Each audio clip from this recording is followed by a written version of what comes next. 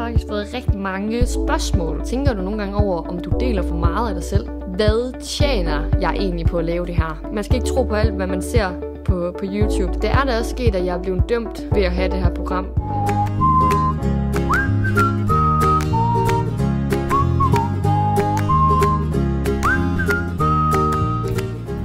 Sammen derude. I dag der sidder jeg i en lidt anden øh, setting, end jeg plejer, I plejer at se mig i. Jeg har nemlig valgt at sætte mig ned og svare på nogle spørgsmål. I løbet af de her snart øh, tre år, jeg har lavet Tulle TV, der har jeg faktisk fået rigtig mange spørgsmål. Jeg vil faktisk ikke sige, at det er mange spørgsmål, men det er mange af de samme spørgsmål omkring konceptet her, det at lave Tulle TV. Og jeg har simpelthen valgt at sætte mig ned og samle alle de her spørgsmål, som jeg normalt altid får i, for, i forbindelse med mit program, for ligesom at, at svare jer alle sammen på én gang, én gang for alle. Så derfor så kommer der her en video med de her mest stilte spørgsmål, som jeg har fået i løbet af de tre år i forhold til mit program Tulle TV.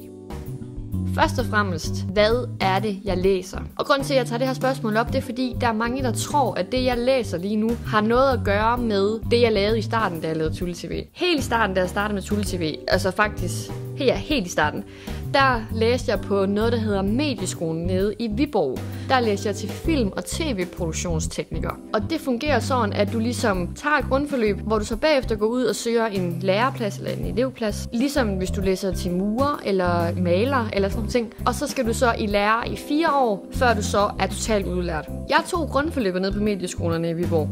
Men derefter besluttede jeg mig for, at det ikke var den vej, jeg ville gå for at studere medie. Jeg synes, at jeg manglede et eller andet, som, der, som ikke kun var at, at sidde og lave film og tv, men at studere medie på en anden måde. Og så tænkte jeg, okay, hvad er medie?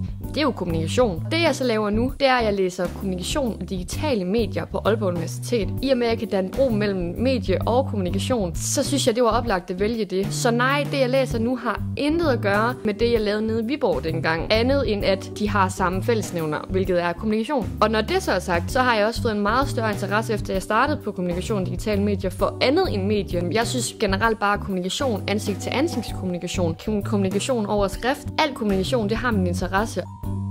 Så er spørgsmålet, som rigtig mange har, øh, har spurgt om i løbet af de her tre år. Hvad tjener jeg egentlig på at lave det her? Og det kan godt være, at det kommer bag på mange, når jeg siger det her. Men jeg tjener så mange penge her på at lave Tulle TV. Efter i, nytår i år, der blev der lavet nye regler i forhold til YouTube. Og det vil sige, at du skal have et vis antal abonnenter for at, have, øh, for at kunne tjene YouTube eller penge på YouTube. Du skal have over, jeg tror det er over 1000, 10.000 abonnenter. Jeg kan faktisk ikke huske det for du må tjene penge på det. Og før den her regel blev lavet, der, var jeg, der havde jeg slet ikke sat det til, at jeg kunne tjene penge på mine videoer. Det fandt jeg først ud af, dengang reglerne blev lavet om. Så jeg har tjent 0 kroner på at lave Tulle TV. Det er ikke min indtægtskilde, som mange andre YouTubere laver, eller har YouTube som. Når det så er sagt, så er jeg faktisk også ligeglad med, at jeg ikke tjener noget, fordi jeg laver ikke det her for at tjene penge. Og det leder mig over et andet spørgsmål, som er, hvorfor laver jeg egentlig Tulle TV? I starten lavede jeg det jo, fordi jeg læste film- og lydtekniker. Jeg vil gerne leve af at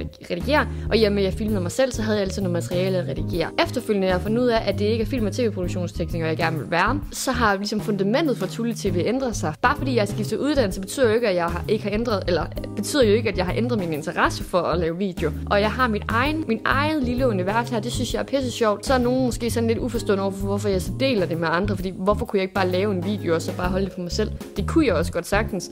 Men jeg synes også, det er fedt nok, når man så har lavet noget, og så dele det med andre. Jeg håber lidt på, at jeg kan inspirere nogle andre til at starte sin egen kanal, prøve noget med medie, lave en eller anden video, noget med noget filmredigering. Det håber jeg da lidt på, at mit, mit program kan inspirere til. Jeg kunne sagtens sætte mig ned og lave sådan noget content, som, som alle andre gør, men det gider jeg ikke, for det er ikke det, jeg synes, der er sjovt. Jeg synes, det er lave, sjovt at lave storytelling, og det er egentlig det, jeg synes, der er sjovt. Hvad jeg kan tjene penge på, og hvad jeg ved, som der giver størst clickbaits, det er jeg faktisk ligeglad med. Jeg laver det udelukkende, fordi jeg synes, det er sjovt.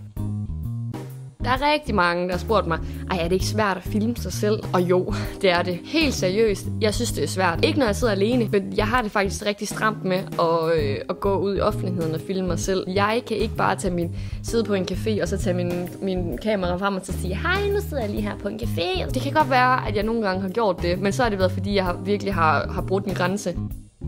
Men normalt så har jeg det rigtig svært ved at tage filme mig selv i offentligheden. Hvis jeg er i en eller anden sammen, eller sådan en forsamling, hvad man siger, hvor der er nogen, der siger, er der nogen frivillige? Er der nogen, der lige kunne tænke sig at sige, hvad de har snakket om? Så, så er det ofte, at folk de siger, Mathilde, kan du ikke sige det? Du er jo så vant til at, og du laver jo video, hvor jeg bare sådan, der er en ting er at sidde og lave en video her bag en skærm, hvor det kun er mig inde i det her lokale. Men jeg har det også svært ved at stå i en forsamling foran 100 mennesker og sige noget. Jeg er da også pisse nervøs, når jeg skal stå og snakke foran nogen, jeg ikke kender. Så, øh, så det kan man ikke rigtig sætte i forbindelse med det, der mange, der gør. De tror bare, at jeg er sådan en, der siger, hey, her kommer jeg. Men det er jeg ikke bare, fordi jeg laver det her program. Fordi jeg er også rigtig usikker som person. Jeg er rigtig usikker som person. Når jeg så er ude, så er der rigtig mange, der spørger mig, har du ikke dit kamera med? Og de er sådan helt uforstående nogle gange over, hvorfor jeg ikke har det med, som om jeg bare er, altså har det med mig overalt. Der laver jeg altid nogle overvejelser. For eksempel, har jeg lyst til at filme i dag? Hvis ja, så tager jeg det med. Hvis jeg ved, at de personer, som jeg skal være sammen med, har, in- har interesse i at medvirke. Er jeg i tvivl om, de har interesse, så skriver jeg faktisk nogle gange til dem, er det okay, at jeg tager mit kamera med i dag? Og hvis ikke jeg skriver, så er det fordi, jeg sådan nogenlunde godt ved, at de vil være med. Men ellers så tænker jeg rigtig meget over, hvornår jeg har det med. Fordi jeg synes også, at man skal øh, acceptere, at det ikke er alle, der har lyst til det her. Folk de plejer at synes, det, det er sjovt. Men kan jeg mærke, kan jeg mærke på en person, at de ikke har lyst, så, så filmer jeg, så stopper jeg faktisk. Så, så har jeg heller ikke lyst. Når jeg så endelig har lagt et, et afsnit op, og så tager jeg hjem til en veninde, og så siger hun, ej, skal vi ikke lige se dit afsnit? Og der er jeg nødt til at sige, det har jeg det svært ved. Det er lidt mærkeligt, at jeg har det sådan, men jeg kan ikke lige at se mig selv sammen med nogen. Men mindre jeg selv spørger, skal vi ikke lige se mit afsnit? Fordi så er det fordi, jeg gerne vil se deres reaktion på afsnittet, fordi jeg selv er sådan lidt, er det nu godt og sådan noget. Men ellers, så kan jeg ikke lige at se det sammen med andre. Jeg synes, det er super akavet. Det er sket så mange gange, at, at jeg er sammen med nogen, ude med nogen, og så siger de, Mathilde, hun har en YouTube-kanal. Så, så går de ind og kigger den. Du skal ikke begynde at se den. Altså, jeg synes, det, du skal ikke se den, mens jeg er her. Hvorfor ikke, se de så. Så begynder de at sidde og se min video, og det synes jeg er det mest pinlige i verden. Jeg fik et spørgsmål forleden, som lød sådan på en af mine venner, der sådan sagde sådan, tænker du nogle gange over, om du deler for meget af dig selv? Og helt ærligt, ja, så tænker jeg over det. Synes jeg, jeg deler for meget af mig selv? Nej, fordi jeg har bevidst valgt at lægge lidt låg på nogle private ting i mit liv. Men det ved jeg bare, at der er nogle YouTubere, der, der er meget ærlige omkring, og det er også det, der tiltrækker seerne. Det er jo, at man er ærlig. Jeg synes også, jeg er ærlig. Alt jeg siger passer. Der er bare nogle ting, jeg vælger at holde for mig selv. Derfor så ved jeg, at jeg ikke deler for meget af mig selv. Jeg deler det, jeg synes, der er, er nok. Så på en måde så er det lidt en filtreret udgave af mig selv. Jeg, jeg er fuldstændig som I ser mig. Det er ikke fordi, jeg sådan ændrer mig selv. Men der er bare nogle ting, jeg har valgt ikke at fortælle på min, på min YouTube-kanal. Og det, øh, det håber jeg også, I forstår. Det er da også sket, at jeg er blevet dømt ved at have det her program. Der var en fyr, jeg synes, der var sådan lidt sød. Og så kan jeg så huske, at øh, da han opdagede, at jeg havde det her program, så ville han ikke svare mig, fordi at, øh, han synes, at, det var, at jeg virkede, som om jeg var sådan en, der var for meget, og sådan en se mig, se mig person. Det er bare ærgerligt, at man skal dømme mig, bare ved at se min kanal. Jeg synes ikke selv, at jeg er sådan en, der er helt oppe at køre. Jeg er jo en helt almindelig nede på jorden pige, som prøver at vise på YouTube, hvad en almindelig 25-årig pige, eller almindelig, almindelig, forholdsvis almindelig, laver. Men det er sket, at jeg er blevet dømt på, de her, på det her program. Nå, men nu er jeg kommet omkring en, en del, del spørgsmål, øh, som folk har spurgt mig om i, i tidens løb. Og jeg håber, at øh, nogle af jer har fundet det interessant. Øh, hvis ikke, så øh, beklager jeg. Men i hvert fald, så, øh, så var det lige det, jeg havde tænkt mig at dele med jer. Og så vil jeg lige komme med et budskab her, på det, her til sidst. Jeg ved, der er rigtig mange unge piger, unge drenge, der sidder og ser YouTube. Jeg synes, der er mange ting, der bliver sagt på, på nogle kanaler, som der ikke burde være egnet for børn. Man skal være kritisk over for, hvad man ser på YouTube. Det ved jeg, at de voksne er derude, de er lidt ældre, men der er mange unge, der også sidder og ser YouTube helt ned til 8-10 år. Og ser de en, en video, som de ikke burde, så øh, ja, så tænker jeg tit over, hvad der sker op i deres hoved. Så børn, hvis I ser det her, prøv lige at være lidt kritisk over for, hvad I hører. Øh, man skal ikke tro på alt, hvad man ser på, på YouTube. Det skal man virkelig ikke. Og til forældre derude, please være opmærksom på, hvad, hvad jeres børn ser på YouTube, for det er ikke altid det indhold, de ser, er særlig godt for dem, uden at være børnepsykolog. Men jeg ved, at der er nogen her på YouTube, som der omtaler nogle ting, som en 8-årig slet ikke burde tænke på. Når det så er sagt, så håber jeg virkelig, at I kunne lide den her video her, og jeg er så glad for, at I stadig følger med mig. Nu er der gået tre år snart, og jeg ved ikke helt, hvordan jeg skal fejre det endnu. Jeg må lave et eller andet Tulle TV special. Ellers så håber jeg bare, at øh, vi ses næste gang. Og øhm, det bliver nok snart. Vi ses. Hej.